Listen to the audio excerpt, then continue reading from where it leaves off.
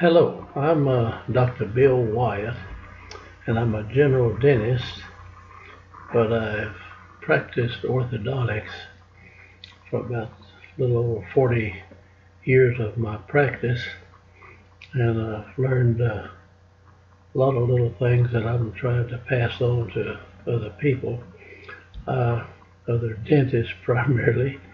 And uh, I'm a member of the American Orthodontic Society, and I'm board certified in that. And this is an organization that's dedicated to educating the general, the pediatric dentist, and really any other dentist that's interested in learning about orthodontics. And we have a wonderful organization, and we have a group of real well trained instructors in it, and we have a good uh, system. We go through boards and all the other things. We have a good journal. So I encourage you to, if you're a dentist and are interested in studying orthodontics or adding that to your practice, that you join the American Orthodontic Society. Anyway, that's uh, that's it's a good thing. Now I'm going to talk some about uh, lower cuspids, and for many years it was considered that you could not expand lower cuspids and get them to stay out, and there was a lot of good research done, and they came to the conclusion if you expanded lower cuspids, they would always go back within 10 years, regardless of whether you extracted teeth or didn't extract teeth or however you did it. Now, this was uh, Dr. Little from Washington that did a lot of this research, and it, he's a fine gentleman. And I have heard him speak, and he's a real nice guy. And I don't know where they made the mistake in there, but I just could not believe that you couldn't expand lower cuspids that they didn't have any sacred position they would go back to. But what I think they did, they just spread the crowns out and didn't bring the roots back, and they would go back. So I started earlier taking the roots back actually further than you do the crown, so the tooth is already leaning or has some tip to it. So I found a case here that's about the most crowded lower anteriors that I've ever seen, and I decided to do a test on that. And this was back in 1973, I believe. So uh, I'll show this young lady if we can get this thing working. Uh, now this was back before we went to brackets, so you're going to have a, a awakening here. We're doing a banded case. and for those of you who've never banded a orthodontic case, you're darn lucky, you know, that we've got got brackets that you can put on now. There's just so many good features about brackets. Now this young lady is a little protrusive and a little bit excess vertical the face, not a, not a whole lot, but it's not extremely protrusive either and this was 1973. I don't think we started over till 74, so uh, later in 74.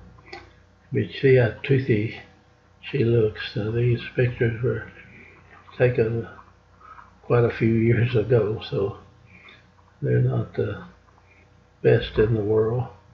Now, this is her model. She has a deep bite, I mean extremely deep bite, I'm going to use a little marking pen. Uh, these upper anteriors had come down over and you could hardly see the lower anterior teeth in here. So this was a problem too on the case. And when we look at the side view, you get a good class one relation in here. And the deep bite you can hardly see the lower anterior teeth. Now we'll go to the other side of the mouth and it too is almost ideal class 1 got the six keys and all the goody things in here, but you got this deep bite. And uh, so when you have a class one situation, especially on both sides of the mouth, and you've got a deep bite, you have to have a real crowded bunch of lower anterior teeth down there to do that. Now if you've got a class two case, then you can have fairly straight lower anteriors and still have a deep bite with a class two uh, situation, but not a class one. So I'll show you the upper is not excessively crowded. Uh, we've got some crowding in this rotation of this tooth that and this one will be rotated so this needs to be brought out and uh, there's a lot of problems here now.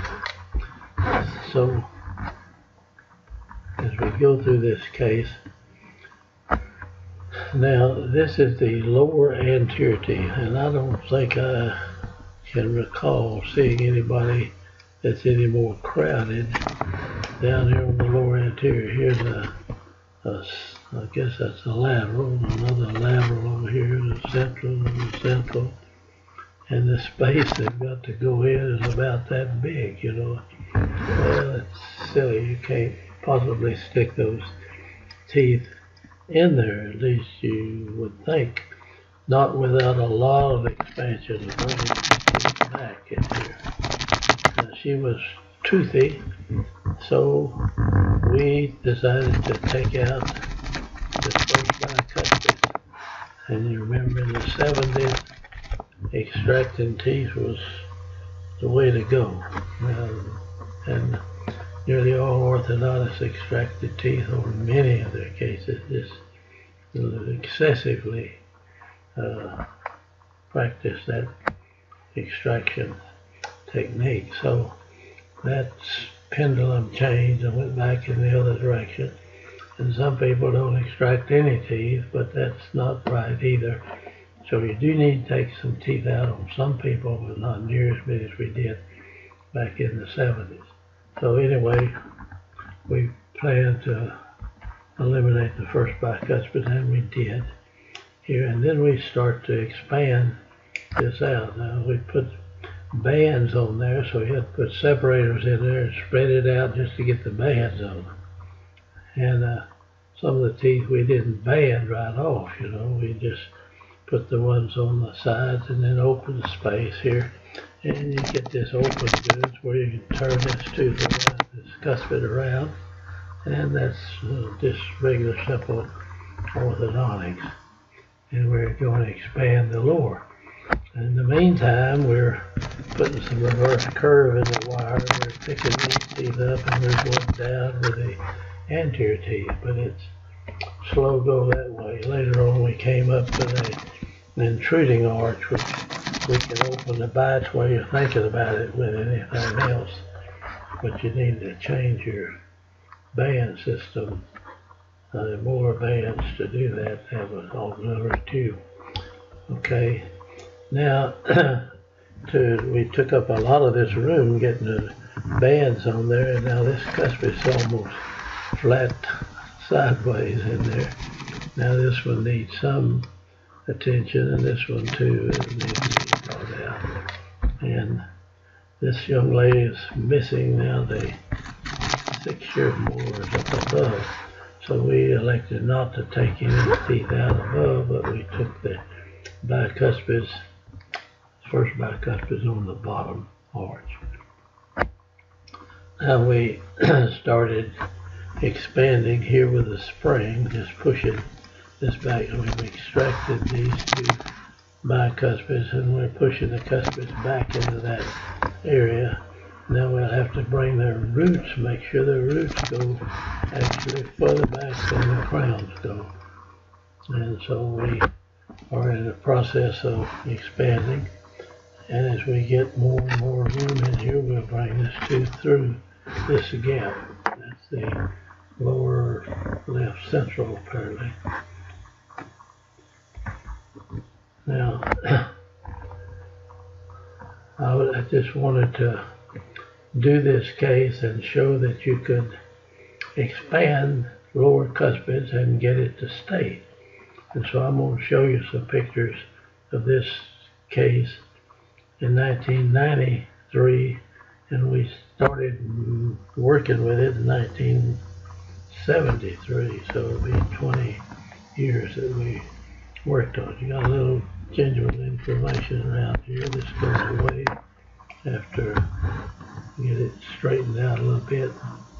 Uh, I'm going to run through these pretty fast. It's regular uh, orthodontics we're not concerned about too much in this series, but I'm stressing the fact that you can widen the lower anterior teeth. And it was taught in many orthodontic uh, schools. Uh, they extracted an awful lot of lower anterior teeth because they couldn't, they thought you could not expand the lower cuspids and get them to stay there. And there are some orthodontists even today that think that.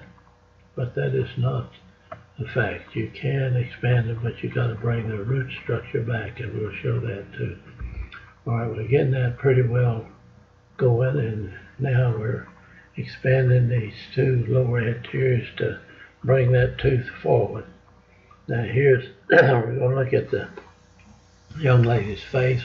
It's still a little bit on the full side. And she's got too much vertical dimension on the face, you see. And watch this when we finish up, we're going to be able to reduce the vertical height of the face something like about a half inch in here. You, you look at it later on. And when she smiles, even though we've extracted teeth and we're going back, she's still on the toothy side. excuse me. Now as we bring that lower left central through this gap, it's going to push a big lump of gingival tissue in front of it.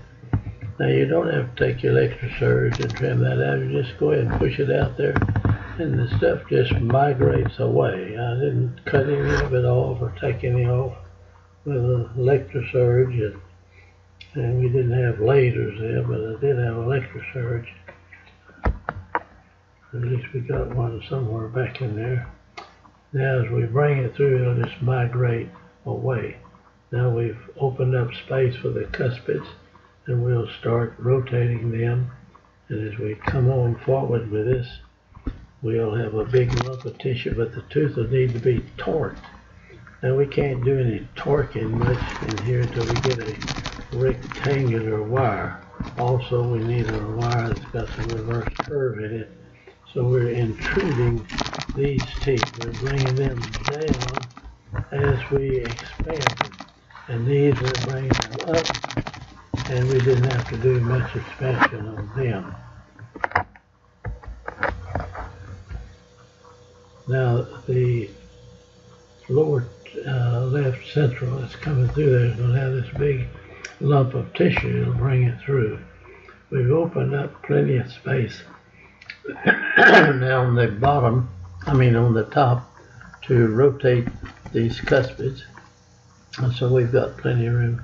Now this band will have to be re-cemented. No, you have to take it loose and get the bracket headed right in here. You'll have to do some rotation before you actually put the bracket on. That's just routine orthodontics, but we stress a little of that as we go through all of these cases. They're none of them just pure one thing. So we've extracted teeth, we've expanded the cuspids, brought them back, and we've got almost space enough. But you're going to have to bring the roots of these teeth out to the side, expand the roots too, to be able to bring this tooth all the way up in here and bring the roots forward. Now, we're still haven't come too far with that. Now we're it's 10 of 74 and uh, we're coming along fairly good with the case. I'm no real hurry to do it. it must not have been. We are taking an awful long time to do some of the things back then that we can do now in a lot less time. Uh, okay, so now the tooth is got room enough, we kind of close this. We'll need to tip this a little, and then rotate this central out and bring the root structure out. And we like to bring the root of this one in some. That's the lower left lateral right there. All right, we still haven't rotated this too.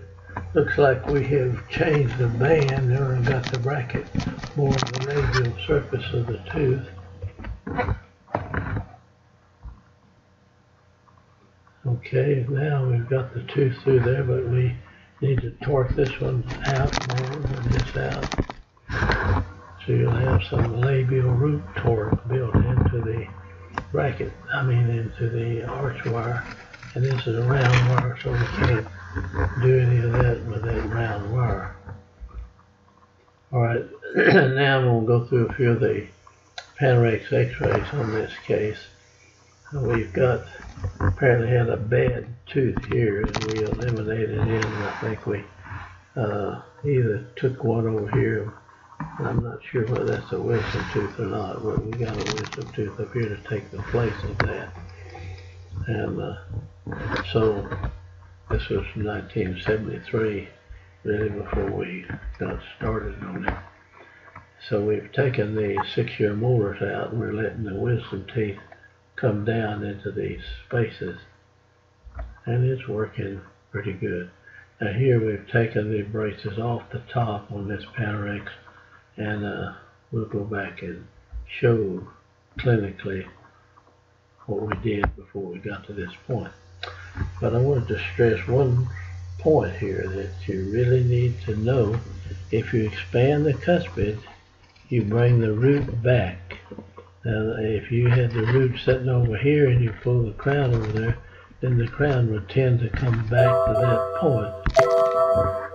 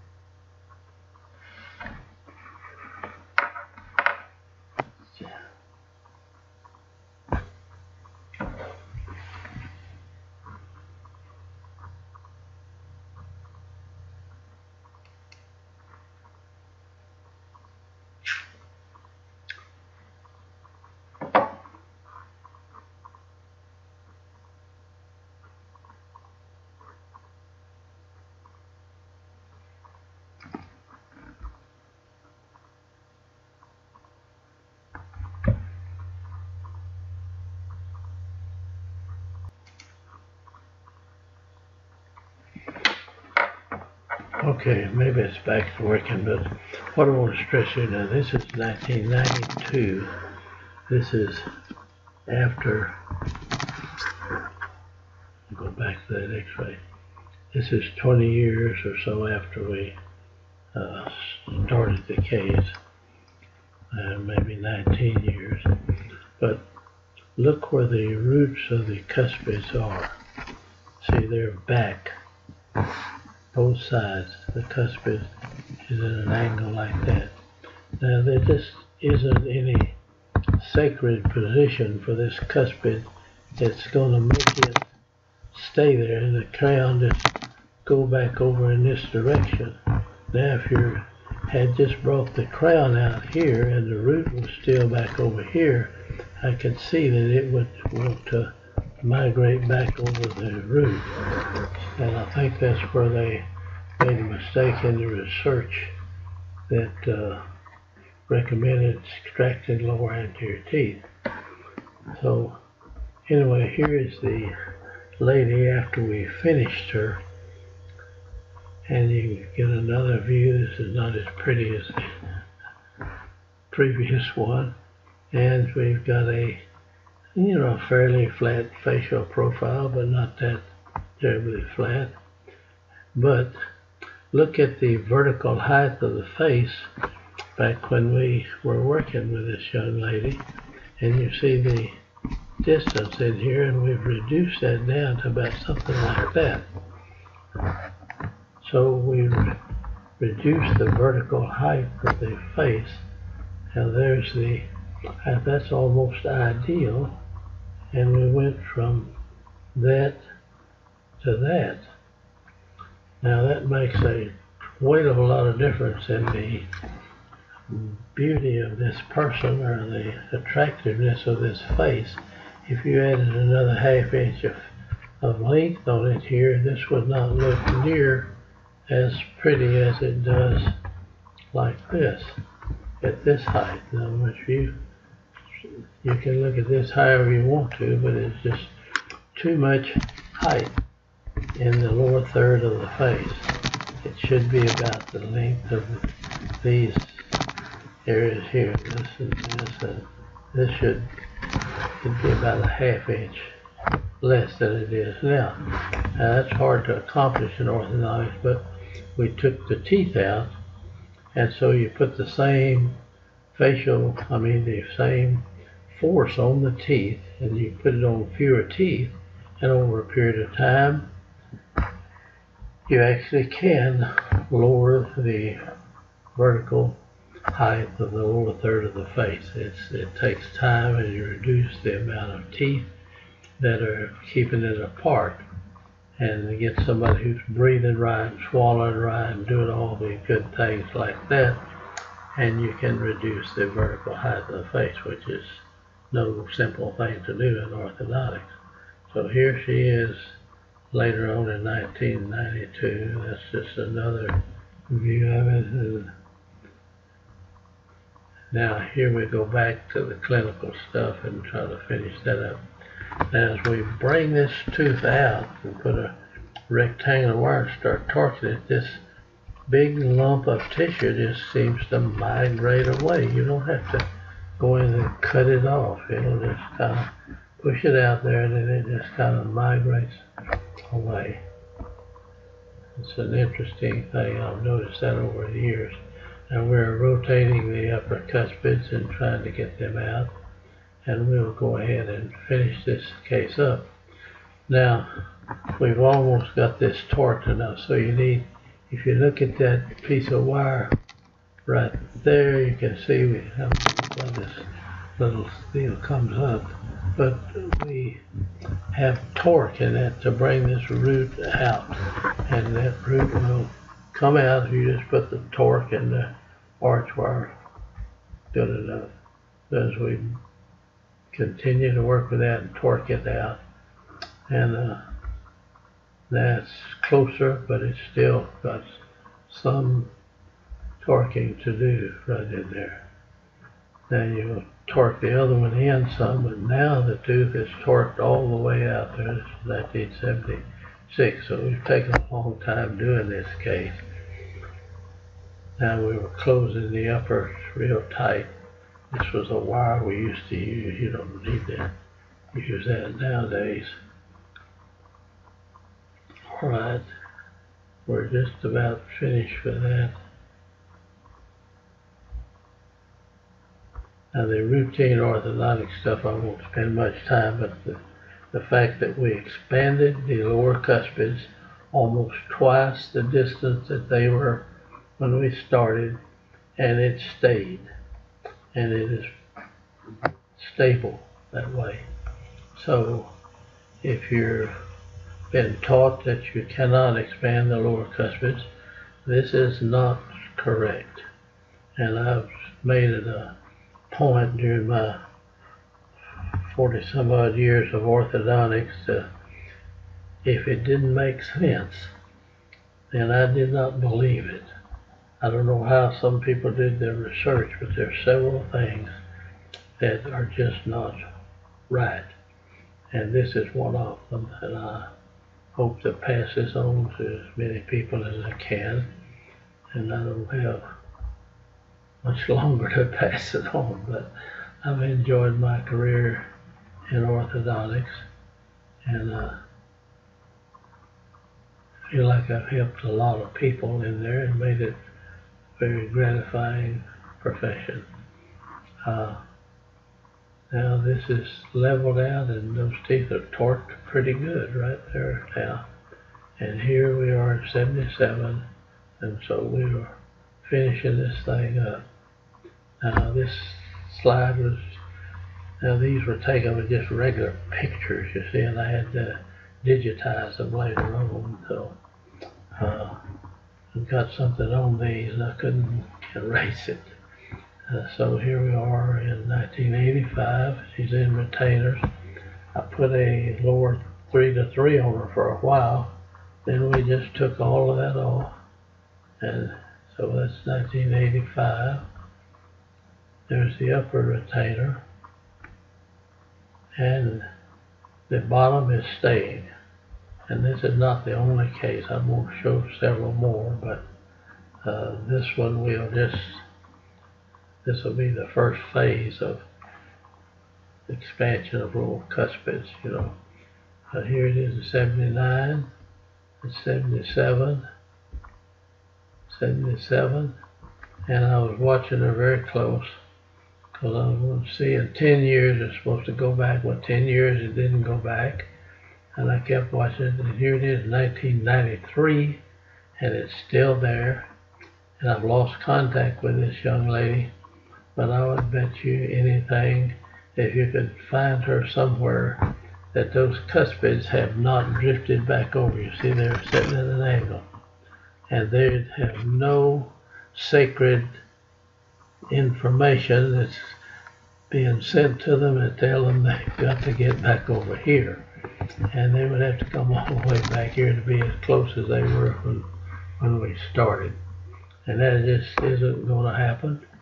And so I'm teaching people that you definitely can expand the lower anteriors if you put the roots in the proper positions and it is stable. So I'm going to stand on that. Just as stable as anything else for orthodontics. Now if you change the pressure on the teeth, they'll move some way or another where the pressure is equal on both sides. But there, there's the models and there's it is 20 years after we started the case if we started in 93 and here it is I mean in 73 so this is the crowded position of those cuspids in 1973 and here they are in 1993 and so they have stayed and I would tell you that you, these teeth will not migrate back over there. They'd have to have some terrible something happen here for them to do that. So anyway, here's the facial height we started. There's what it, the vertical after about the time we were working on her some. And here's what she looked like later. And so we accomplished two things. We reduced the fullness of the profile and we also reduced the vertical height of the lower third of the face. And I think this is a successful case. So I'm going to stop at this point and we'll consider this the first phase and we'll come in with a second phase of uh, orthodontics to do that. I can stop this now. I don't know what I'm going to have to do.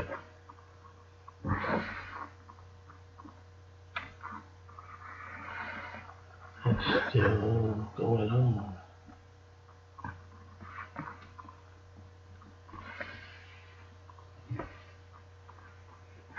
Think I have to get out of the